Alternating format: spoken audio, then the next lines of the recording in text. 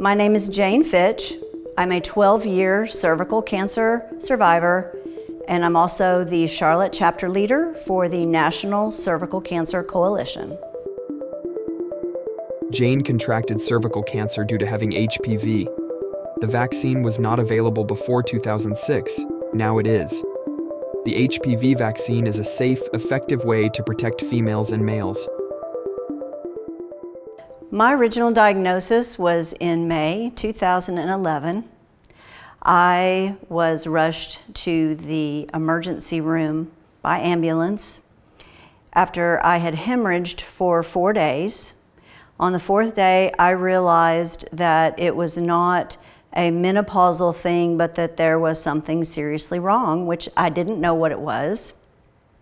Once I got to the hospital, I was admitted, and they actually had to keep me in bed because I couldn't get out of bed without passing out.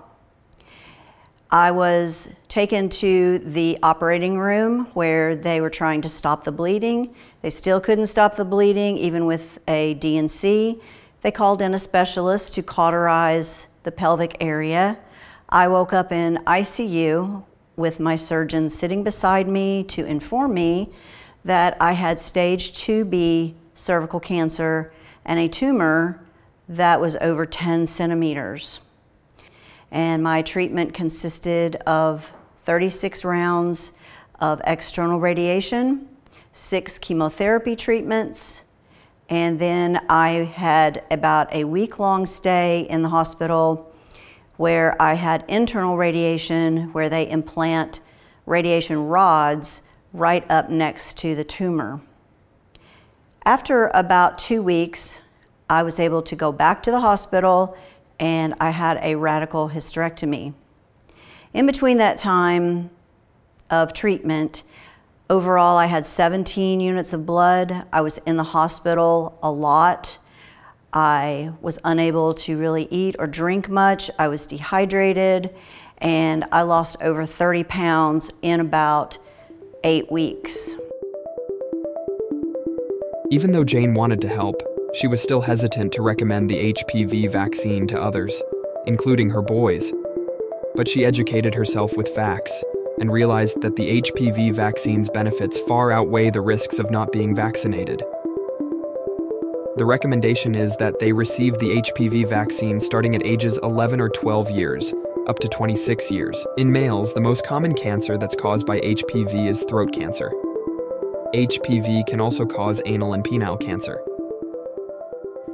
So, after I joined the National Cervical Cancer Coalition, one of the things that they talked about quite a bit was the HPV vaccine.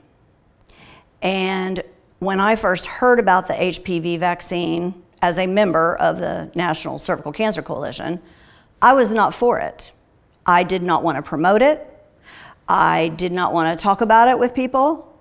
I would do everything else that the National Cervical Cancer Coalition stood for, but I didn't want to talk to people about the vaccine because I didn't feel that it was a good thing.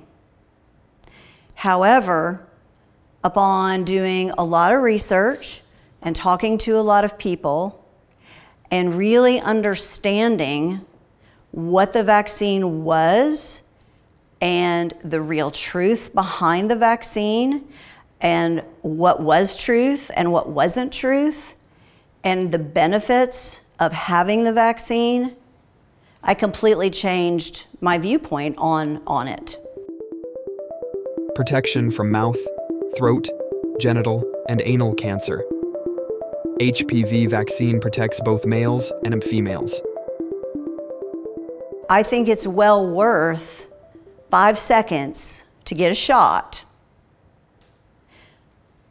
versus having months, maybe years of cancer treatment that may or may not save your life when we know that in communities that use the vaccine extensively, and most people have been vaccinated with the HPV vaccine, that cancer rates have dropped to almost nothing.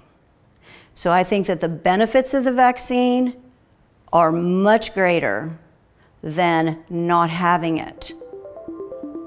And I would highly encourage you to talk to your medical professionals, do your research, and find out more if you have questions about the vaccine. All young males and females should be vaccinated. For more information, visit partnershipformaleyouth.org.